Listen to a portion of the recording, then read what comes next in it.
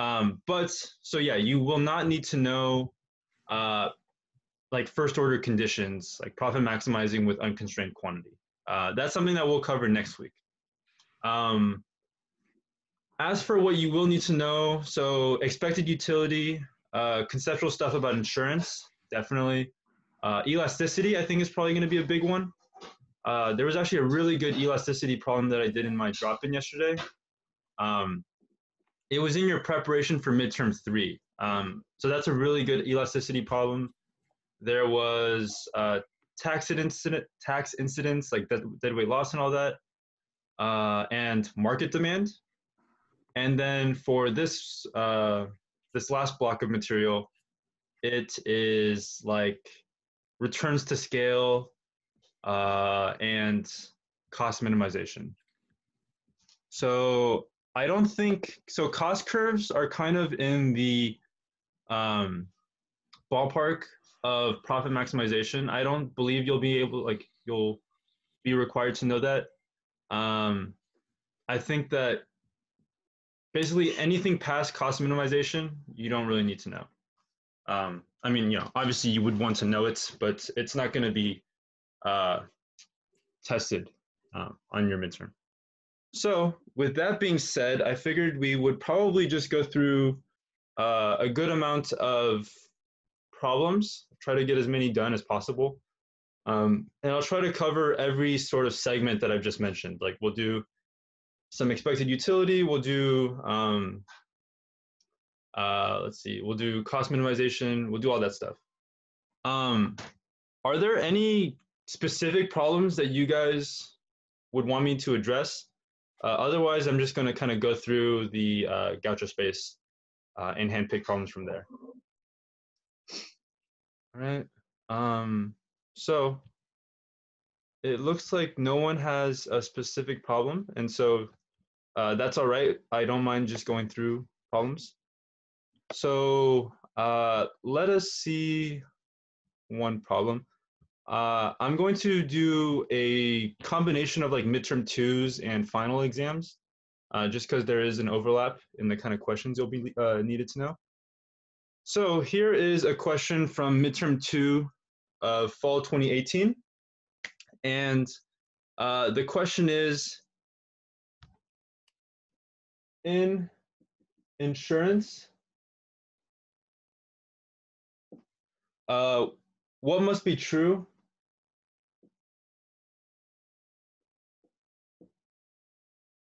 if someone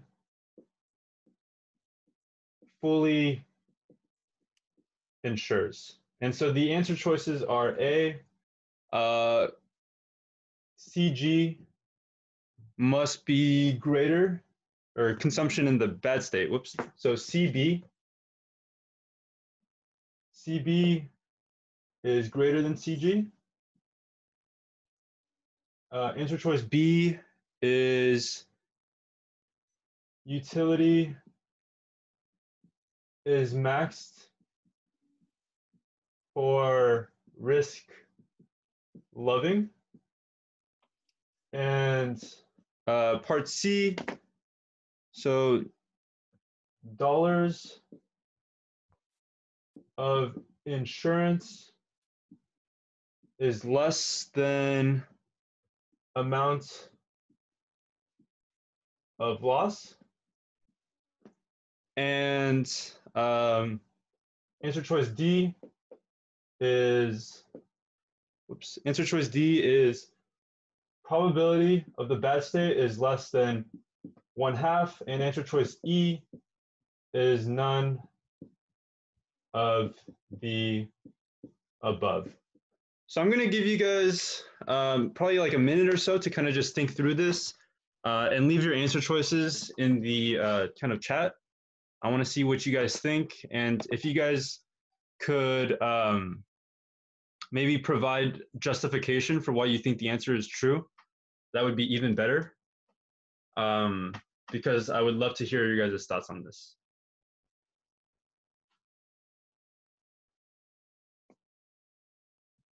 And in the meantime, I'm going to look for more problems.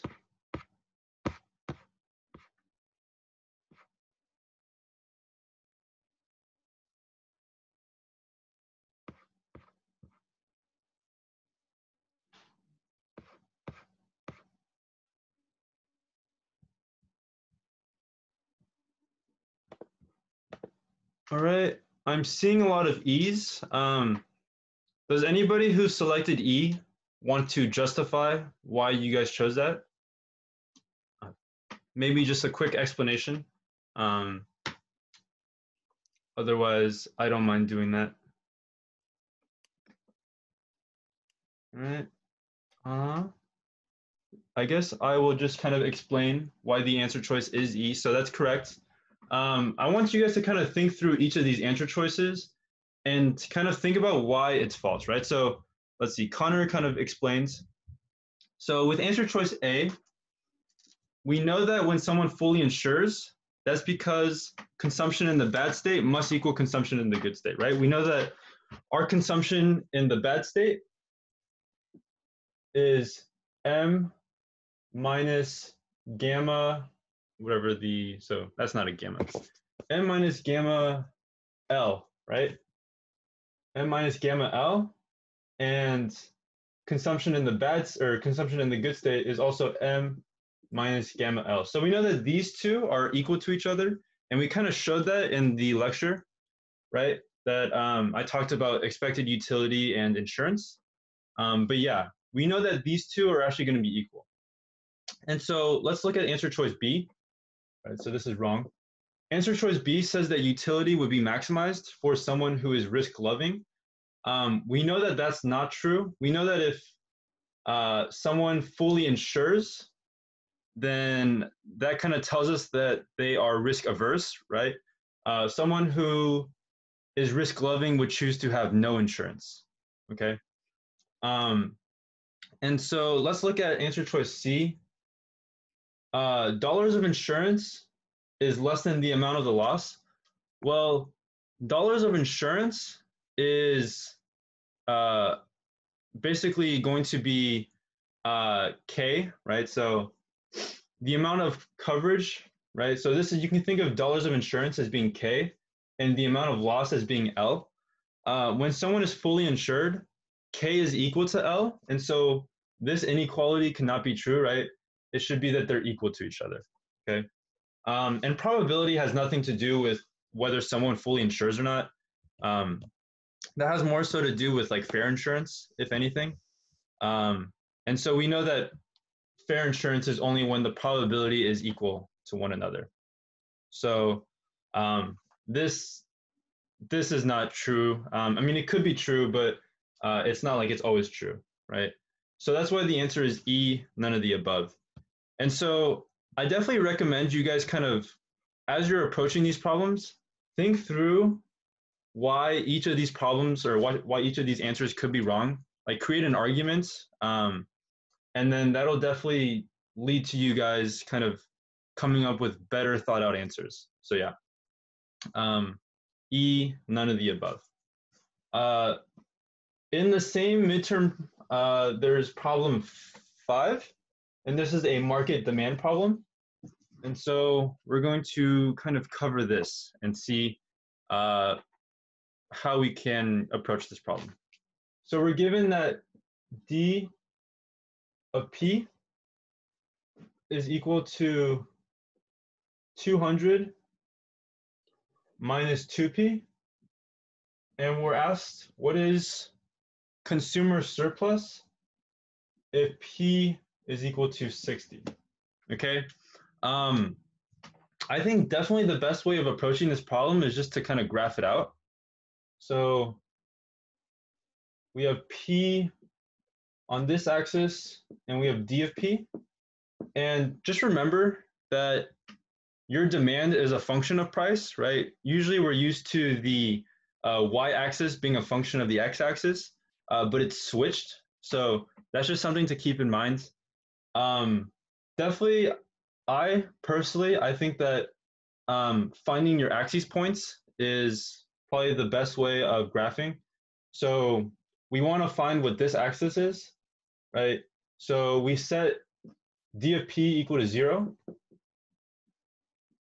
right? And we're able to get that p is equal to 100. So essentially, when the price is 100, nobody is going to be uh, demanding anything, right? So what happens when the price is zero? Well, then demand is just going to be equal to 200. right? And so we have this slope that looks kind of like this, right? Where slope is negative one half, okay? And we're asked what consumer surplus is when the price is 60. So you want to find this area right here. This is our consumer surplus, right? Because it's the area that's underneath the demand curve, but above the price, right? So it's going to be some sort of triangular area, okay? Um, now, this is a fairly easy problem, but just graphing it is probably going to be your your uh, your the hardest aspect of this problem. Um, also, making sure that you're multiplying by the right stuff, right? So we want to see what d of p is when p is 60, right? So d of p is equal to 200 minus 120, right? And so this is equal to 80, right? Um, so this person is consuming 80 units when the price is 60, okay?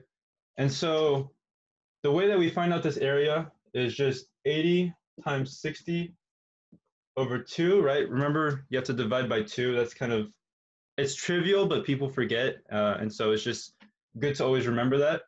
Um, and so this is 4,800 over 2, which is equal to uh, 2,400, right? And so that is the, uh, wait, hold on, actually, I want to double check that. Oh, okay. So that's actually a really good catch. I want to I want to make sure that you guys don't make this mistake that I just did, right?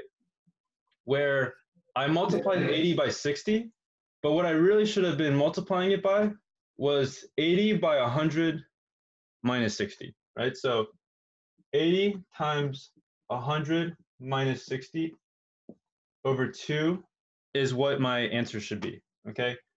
Um, so I'm lucky that I cut that myself, um, but it's something that could easily kind of pass like over your head as it just did to me.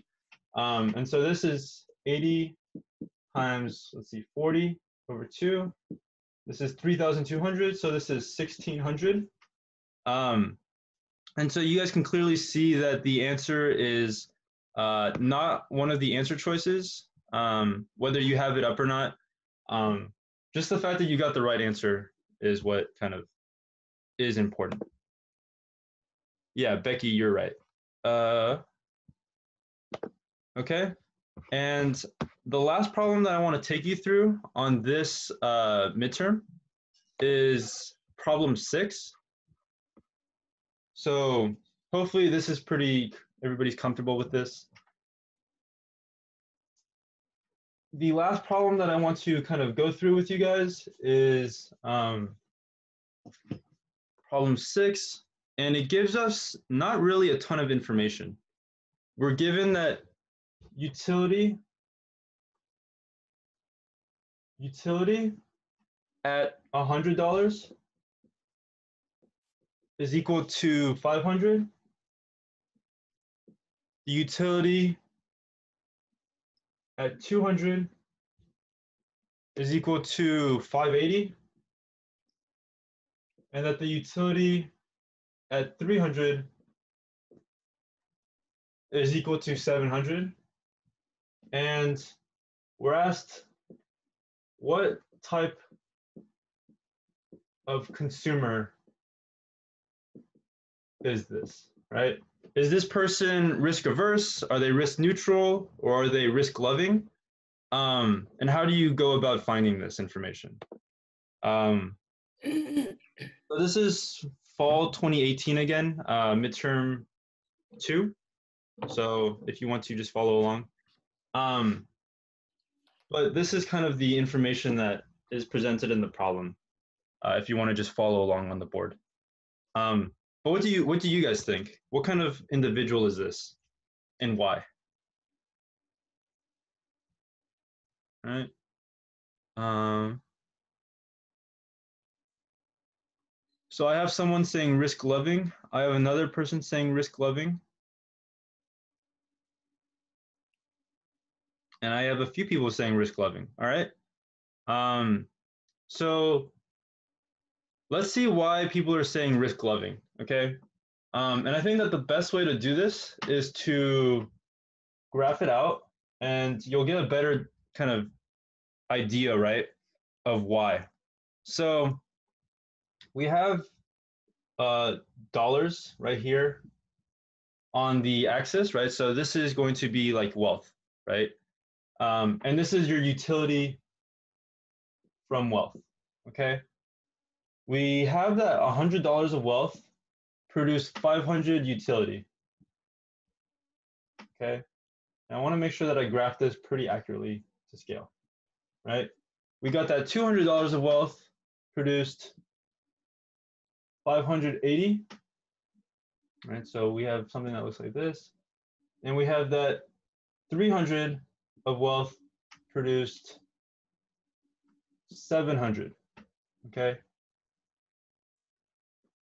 And so if you kind of track the movement of this, it's pretty subtle, but you should notice that this kind of forms a parabola, right?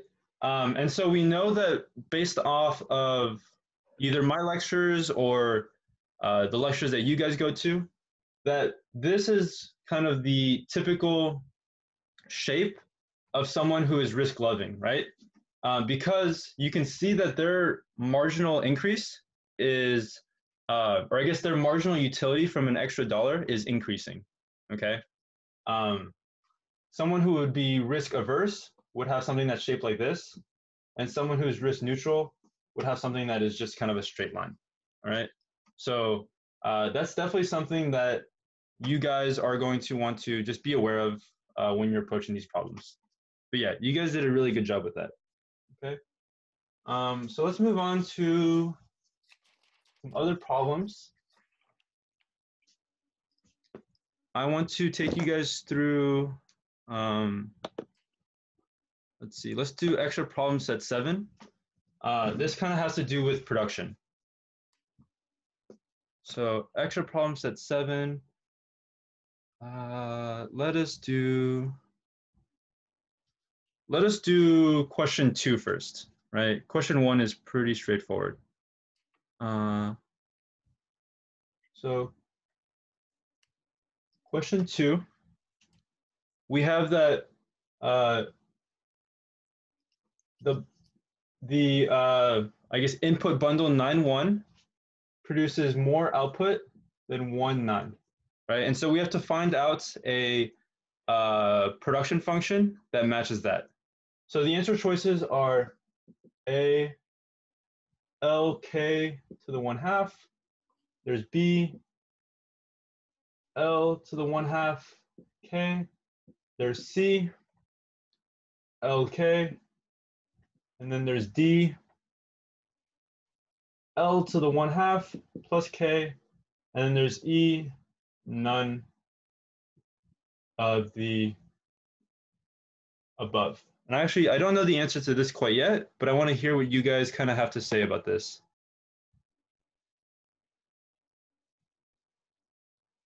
Um, I don't believe you'll you'll see marginal cost or average cost. Um, the I mean the average cost is basically just the total cost divided by the quantity. Um, and marginal cost is uh, basically your total cost uh, and like the derivative of your total cost with respect to quantity. So, uh, I mean, I can kind of just briefly talk about it real quickly. I don't, I don't think you'll see it. Um, but yeah. So the this question at hand is basically saying which production makes it so that the input bundle 9.1 produces more than the input bundle 1.9. Okay, uh, I'm seeing some answer choice A's, right? Uh, and so let's kind of talk about that. Uh, so I think the best way of just going about this kind of problem is just to plug in the numbers, right? Um, and just seeing which produces this outcome. So if I plug in 9, 1, I should get 9 times 1 to the 1 half is equal to 9. versus um, 1 times 9 to the 1 half, which is equal to 3. And so this makes sense. And I think that in most cases, you can probably just leave it and not even worry about any answer choice like B or um, or C, um, or like B, C, D, or E. Um, but it doesn't hurt if you have time to just kind of go through each of these answers, and you might find that you solved part A wrong and that you actually figured out like part D was correct, for example. And so um, that's just kind of my advice to you guys um, when going through the midterm. Um, but I know that there is a time crunch, so I think I think definitely uh, you can feel pretty confident, especially if it's an easier problem like this. Um, but I do want to kind of let you guys know that um, I have in the past realized that one of the answer choices that I forgot about was right. Um, so yeah, it's kind of whatever you guys feel comfortable with. Uh, let's pick another question from this lot. Which of the following, so.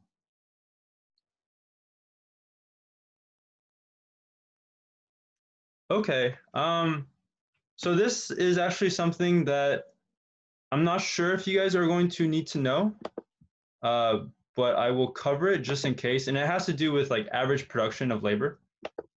Um, so let's kind of look at this. So this is question six. This is question six on the same uh, extra problem set. And we're given that F LK is equal to this is so the square this is the cubed cube root of 18L plus 9K and we're asking is average production of labor at uh, the 0.88 greater or average pro production of capital at the 0.88 greater. Um, so how do we go about this, right? Well, average production of labor um, is actually not very complicated. So um, it kind of sounds complicated just because they give you this notation and they don't really explain what they mean. Um, but average production of labor is basically just going to be your quantity over your labor, right? Um, and so this is pretty much all it means is how much does each unit of labor contribute to uh, quantity on average? Uh, and so this is kind of the equation. They might not always give you a specified point. And so when they don't give you a specified point, they pretty much just want you to put this whole production function over labor, right? And so maybe this doesn't work so well for something like this, but say that we had um, 8L to the 1 half over K squared, for example. Uh, this was our production function. Then the way that we would find the average production of labor is to just divide everything by L. Um, and that would kind of be it. And then you would, from there, plug in various input quantities. Um, and it kind of works like a demand function, if you will, right? Where uh, if you have your production function and you divide it by labor, uh, no matter what the input quantities are, you can always find the average production of labor, right? And the same holds true for capital, right? Where you would basically just divide your total quantity by capital, right? Um, and this is what you would get, right? Um, in this case, because they do give us a like input quantity combination, right? You can think of it as your like bundle. Um, they're going to be expecting a number in your answer choice. Uh, so that's kind of what uh, is going on there. So in this case, uh, I have my calculator, um, and so I'm gonna just do it from there. Um, but yeah, so 18 times 8, so the cube root of 18 times 8 plus 9 times 8 or uh, so over L or so yeah, hold on. Uh,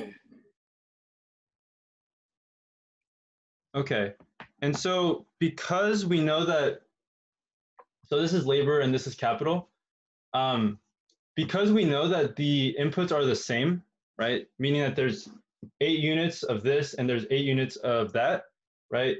Our equations are actually going to look basically the same, right? So you don't even need to multiply it out right? Because we know that this is uh, FLK, right? So this is the same as FLK over L, and this is the same as FLK over K, right? Um, so hopefully you guys kind of see that. Are there any questions about that? Right. I know that this is kind of uh, a sneak peek into maybe material that I don't think you'll need to know for the midterm, right? I think that this is like looking forward, um, but it kind of does give you an introduction just in case they like sneak it in, right? Um, better to be over prepared than under prepared.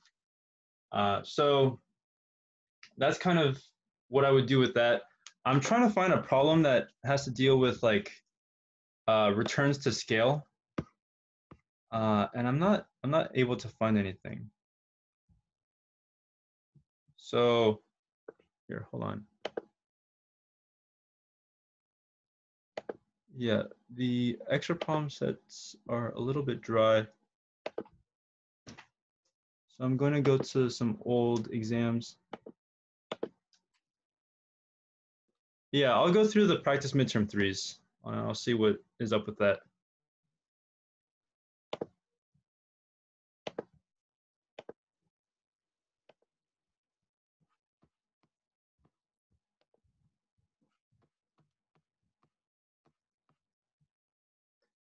Okay, um, I'm going to do midterm three, winter 2015.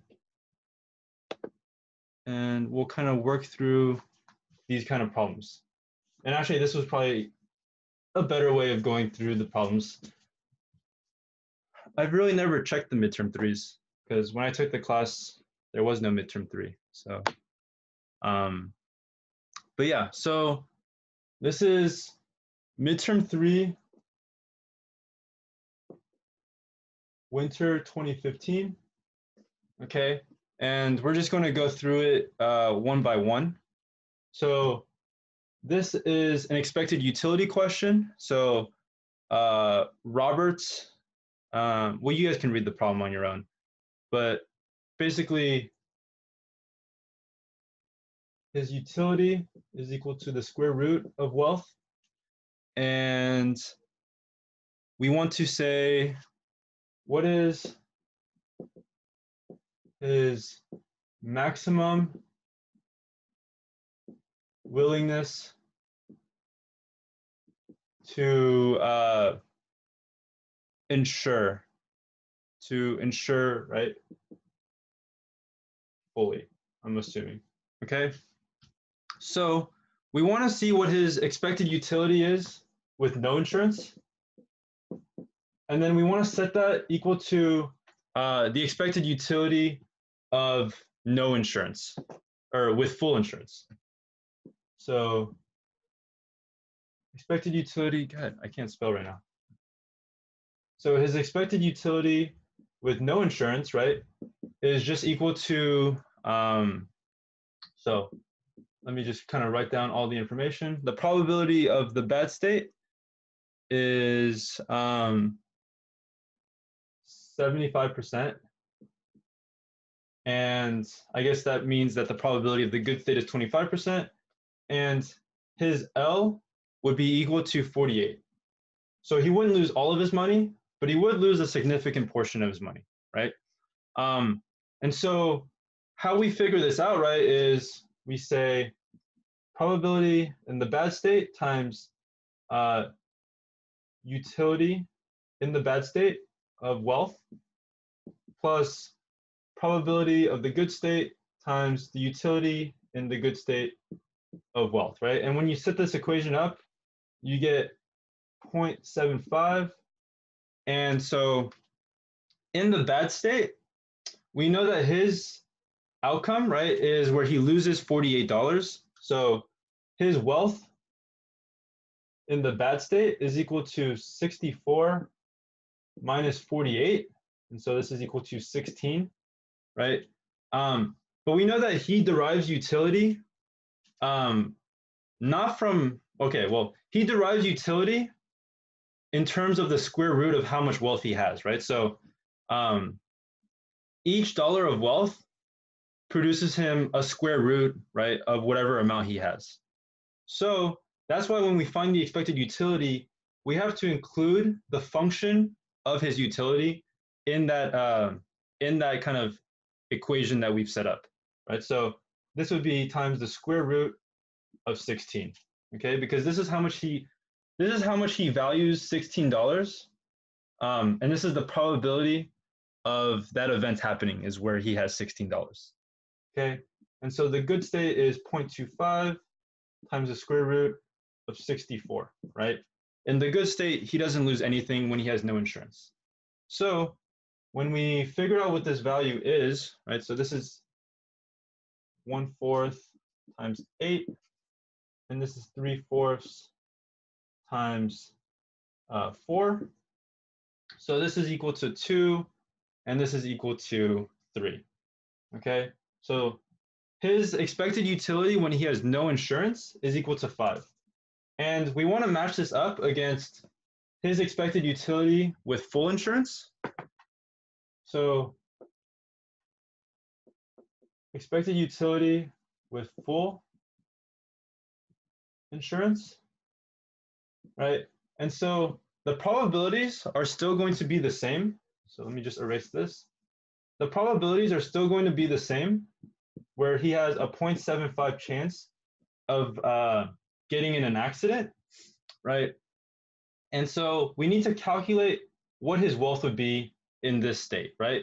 And so we know that consumption in the bad state with full insurance is M minus gamma L, and that consumption in the good state is also M minus gamma L. And what we're looking for, right, how much he's willing to pay is gamma L, right? This is how much he pays for insurance. Um, this is like his insurance premium, okay?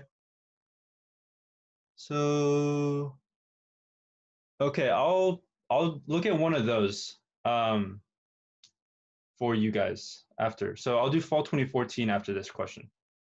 Okay. Uh, so let's go back to the problem. So what we're really looking for is gamma L, okay? And so we know that M is 64. So 64 minus gamma L, right? Plus 0.25. And so this is the probability of not getting in an accident. Uh, so this is the probability of like the good state occurring. But we know that in the good state, his consumption is also M minus gamma L, okay? Uh, and what you noticed, so M is 64, so we'll just kind of plug that in for now. What you'll notice is, God damn, this is like that. And so what you'll notice is that these two terms add up to one. And so this simplifies out to 64 minus gamma L, right? And so we need to find out what gamma L is and the way we do that is we set our expected utility with no insurance equal to our no expected utility with full insurance. And so we set this equal to five, right? Because um, this is kind of like the equilibrium where they're like indifference between fully insuring and having no insurance, right? So this is kind of what's going on here. So to find gamma L, we just take this, uh, the square of both sides and so we get 25 is equal to 64 minus gamma L. And so gamma L is equal to 64 minus 25, which is equal to 39, right? So this is how much this person is willing to fully insure, right? And I want you guys to kind of think about what happens if gamma L is more than 39, right? So say that gamma L is 40, for example, right? So the cost of insuring goes from 39 to 40. How does this affect his expected utility, right? Well, if you want to do this with a calculator, I can I can definitely show you guys that if gamma L is 40, then the expected utility is going to be less than five. Um, and so in kind of contrast to that, if gamma L, right, how much he pays for insurance is less than 39, then I can assure you guys that his expected utility is going to be greater than five, right? So gamma L being equal to 39 is where these two are exactly the same, right? So it's like the equilibrium point. Okay. Um, did that make sense to you guys? Uh, I know that this is like, it feels like it's been so long ago that we we did this, um, but this will be on your your midterm. So yes, exactly, Victor. That's true. Um, so I'm going to do midterm three, fall 2014, and number three, and uh, kind of show you guys how to go about that. So midterm 20, fall 2014, and question three. So if you guys want to hop over to that.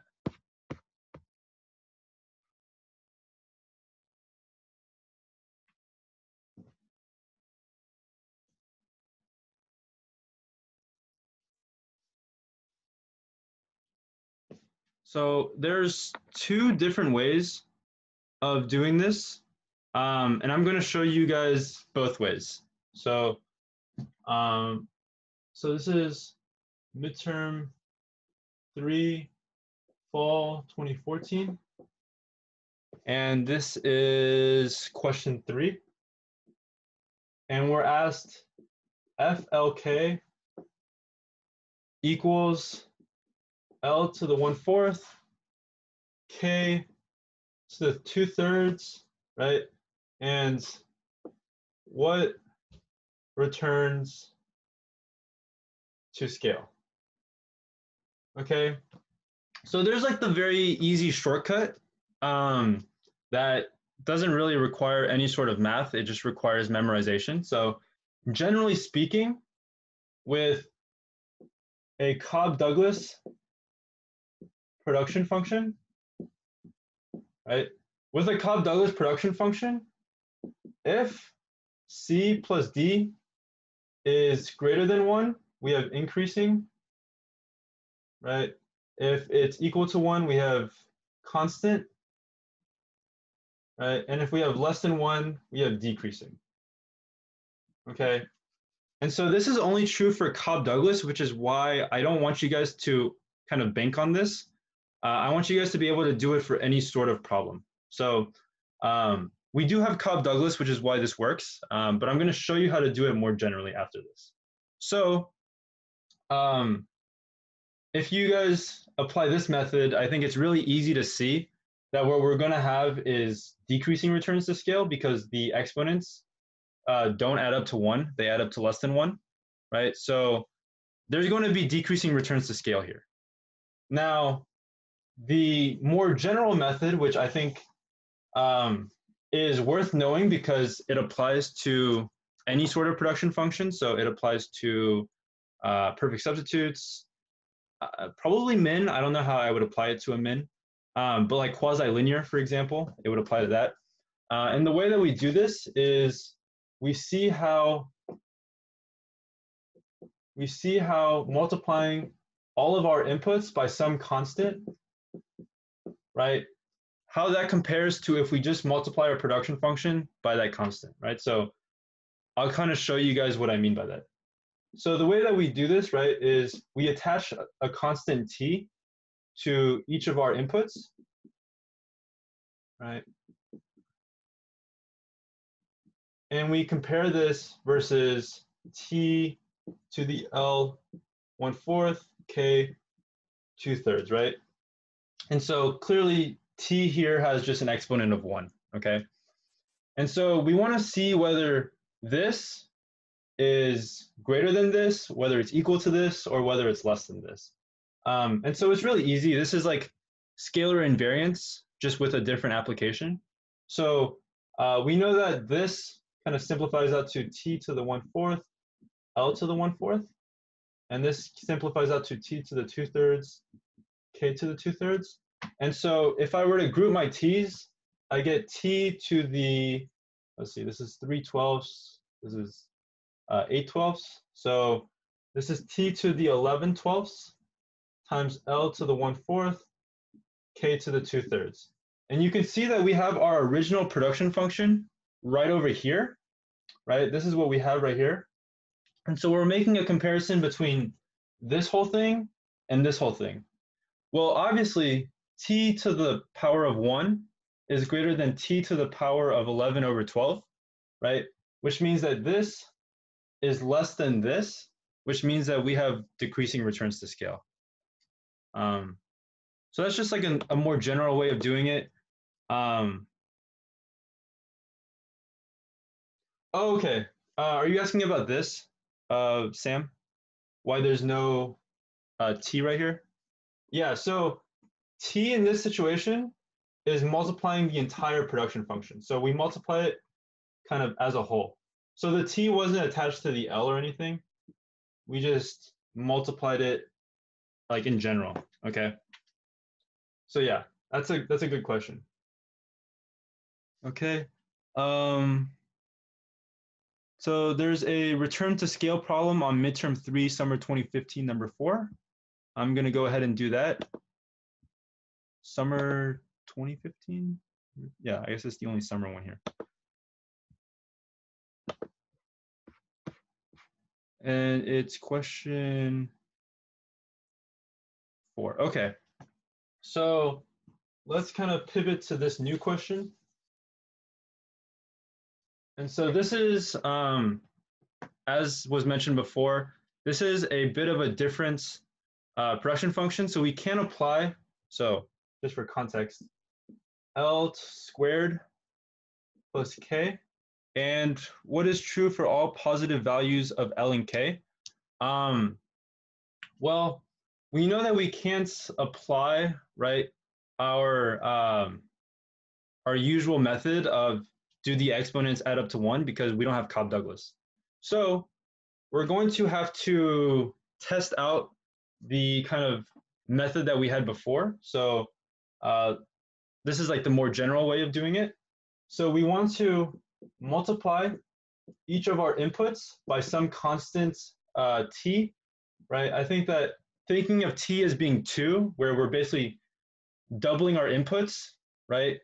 We want to see does doubling our inputs result in doubling our production, or does it more than double, or does it less than double? So that's kind of the intuition between returns to scale, right? So if I do this and I apply this t constant to um, my inputs, what I get is t squared L squared plus TK. And so let's see, how do I pull this? Um, so this is equal to, uh, actually, I don't think it's worth pulling out, um, but just know that you could kind of simplify this a bit more. Um, what you want to compare it to is whether I just multiply it by t, right? So t times f okay, this is equal to uh, t times L squared plus K, which is equal to T L squared plus TK, right? And right off the bat, we know that um, since T, right, is just a general constant, that, um, so uh, I guess for any positive values of T is kind of the, the thinking, right? Returns to scale should um, be where the constant is greater than one uh, in order to kind of get an actual representation of what the scaling would look like. Um, but you can see that for any t greater than one, that t squared L squared plus TK is greater than T L squared plus TK, right? Um, and so you guys can kind of just plug in the number two, for example, and see that this is true. Um, or just any constant that's greater than one, but I think two works the best. So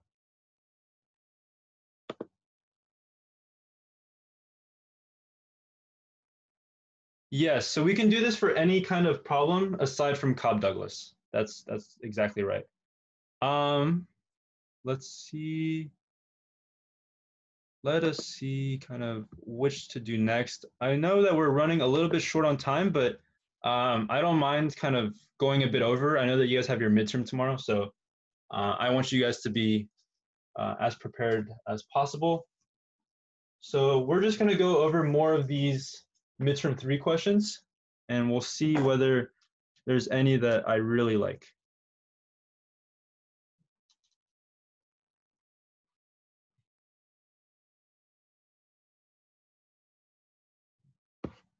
Um,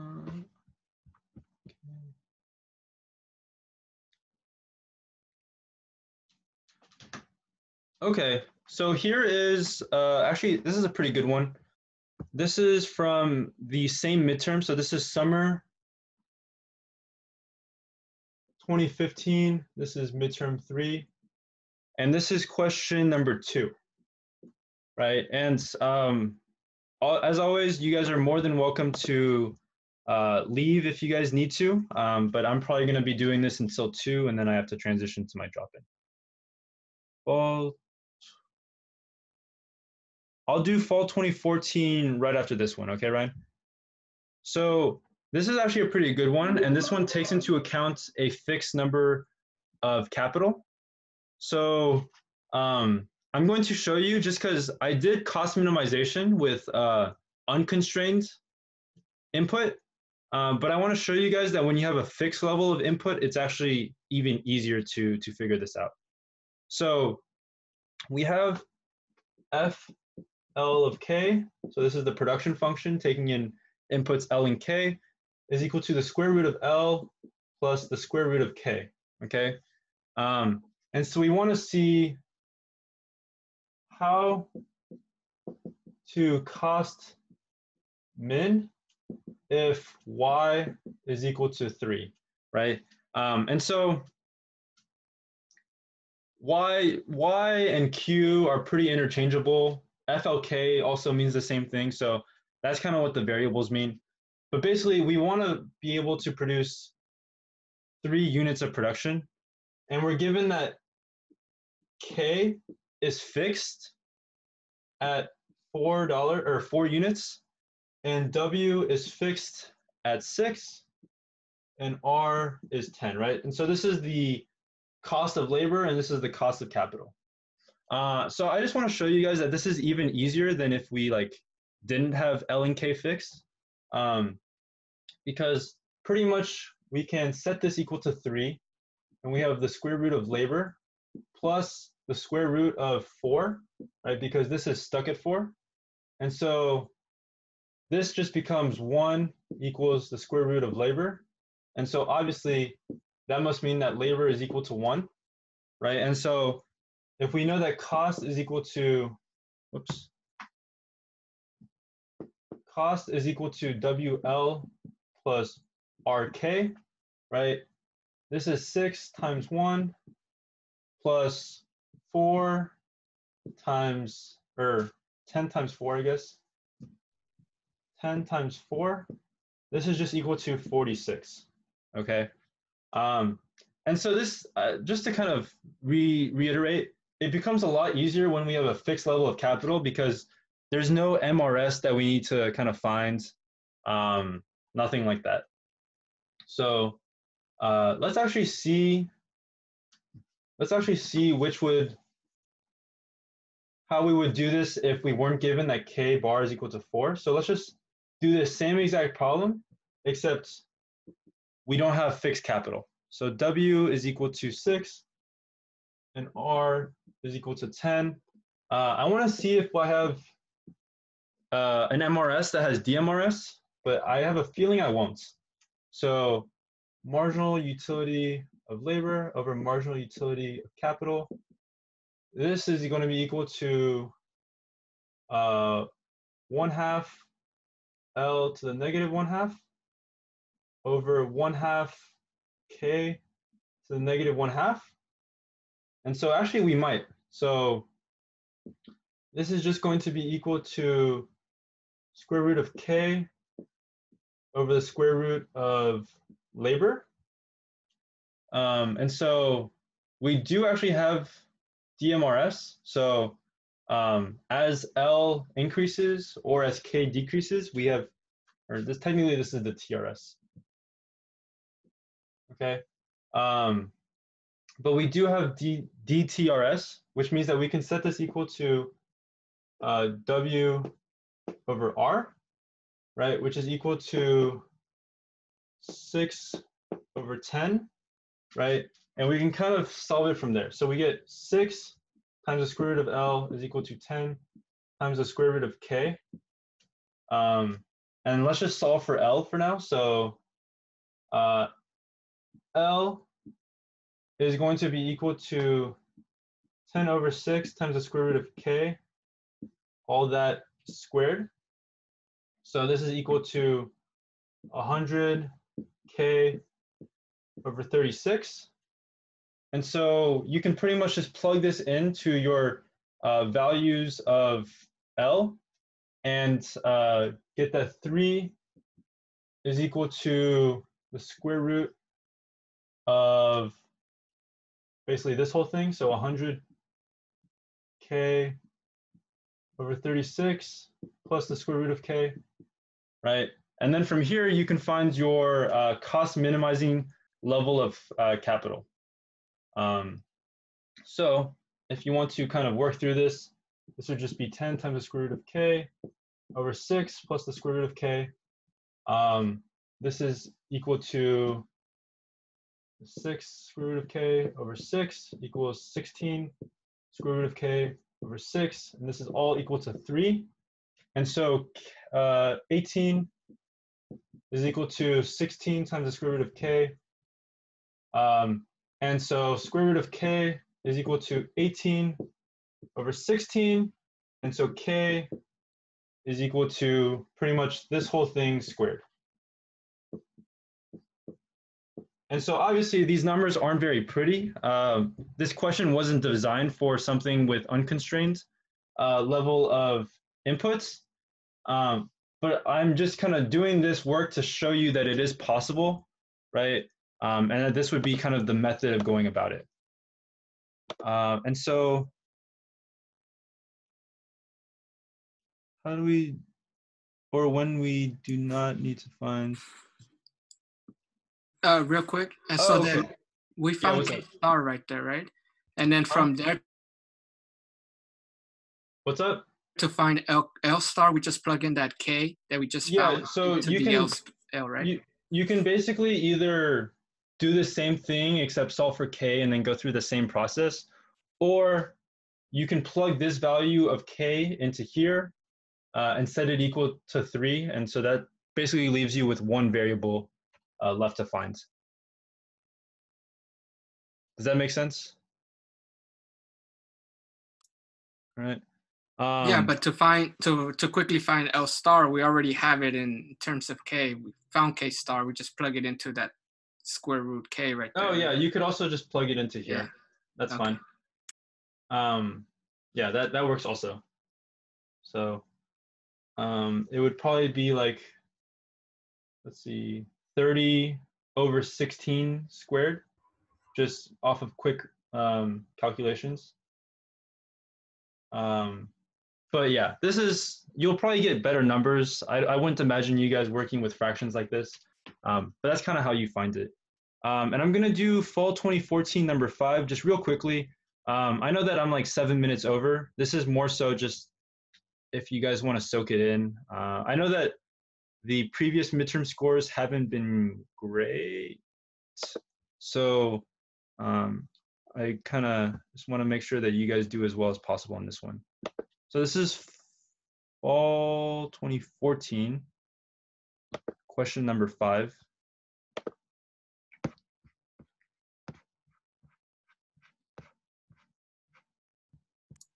and then you have drop in hours after this, right? Yeah, yeah, I do. So we'll do this question and then that'll probably it be it. Uh, and then I'll just move over to my drop-in. If you guys have any questions there, you guys are more than welcome. So uh, F, okay. And just for reference, this is fall 2014 midterm three. So this is FLK is equal to L to the one half, K to the one half. Um, R is one, W is five, and the price of the good, P is equal to two. Oh, okay. So this is a first order condition. Um, I don't think you guys are going to need to know this, but I'll just do it real quick, um, just because, I don't know, you guys might want to know it. So, um, and then I'll kind of explain it. So we have that uh, K bar is fixed at 100, right? And so we're looking for the profit maximizing uh, amount of labor. And so if you guys kind of remember the profit equation that we were working with in the past, P times F L K, right? This is our revenue. This is our revenue minus uh, WL minus RK, right? Or I guess if you want to write it like this, this is equal to our cost. And so we're looking for the profit maximizing level of profit uh, given that capital is fixed. Um, and so I'm just going to kind of let you guys know right away the fact that capital is fixed um, doesn't really matter because, um, and I'll, I'll, actually, I'll just show you why in just a bit. So we want to find the profit maximizing amount of labor, which means that we have to find, actually, I'll do it in this line right here.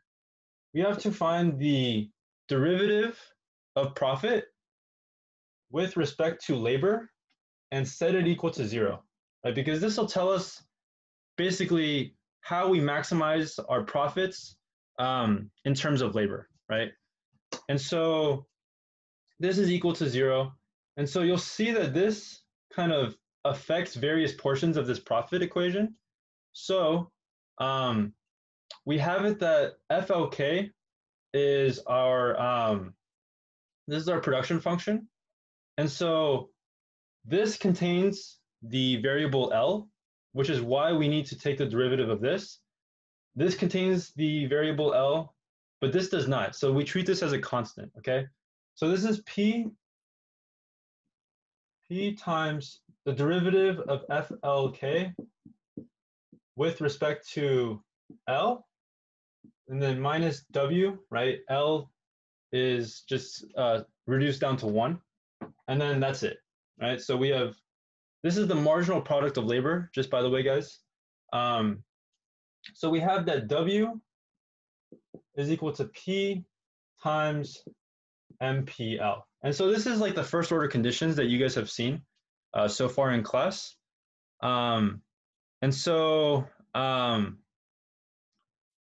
given that this is kind of what we have so far, we know that MPL, so let's kind of take this and let's solve it out.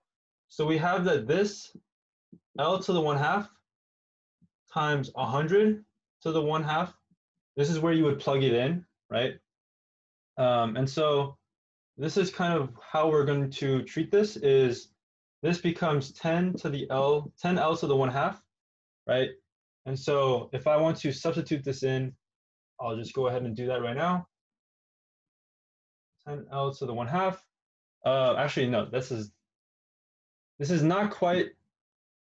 So this doesn't lead to this. This leads to this, right? So this is my production function, uh, right? And so I want to take the derivative of this, right? So this leads to 5L to the negative 1 half, which is equal to 5 over the square root of L, right? So this is equal to 5 times the square root of L. This is the marginal product of labor, okay? Um, and so I can just plug in some of my variables. I get 5 is equal to 2 times 5 over the square root of L, right? So uh, basically square root of L is equal to two after some like working arounds. And so L is equal to four. And so uh, that's how you would solve a problem like that.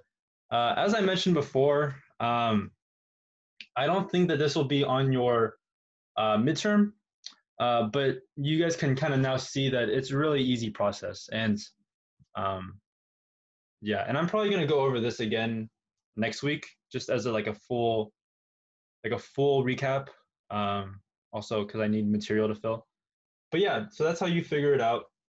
Um, so hopefully you guys are good on that. Uh, I do have to run over to my drop-in hours. Um, you guys are more than welcome to kind of come through there and ask any question that you want or have. Um, but if not, I wish you guys best of luck on your uh, midterm tomorrow. I hope that this review session, if you want to call it that, was useful um, and that you guys all do uh, as best you guys can on your midterm tomorrow. So uh, there's a different link for the drop-in.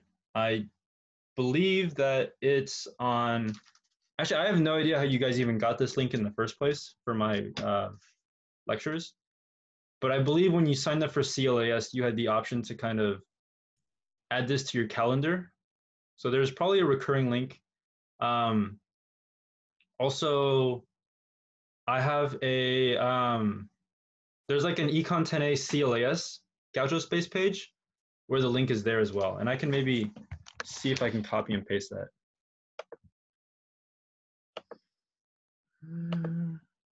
All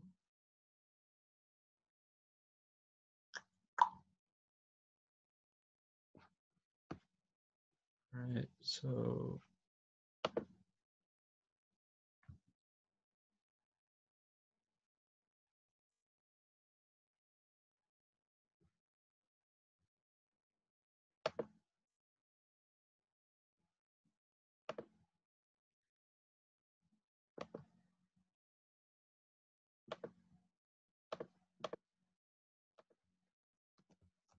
Yeah, so if you want to join my drop-in, I think you guys can probably use that link and and you'll be good.